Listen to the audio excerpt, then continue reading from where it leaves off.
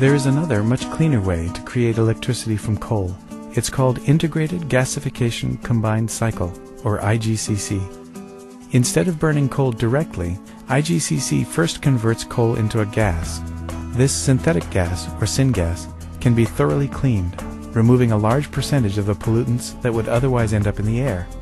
The syngas is then burned in a state-of-the-art turbine generator. Excess heat from both the gasification process and the gas turbine is converted into steam and used to power a steam turbine generator, producing even more electricity. Most important, given our concern for global warming, IGCC technology presents the ability to capture and store carbon dioxide, to sequester it, instead of releasing it into the atmosphere.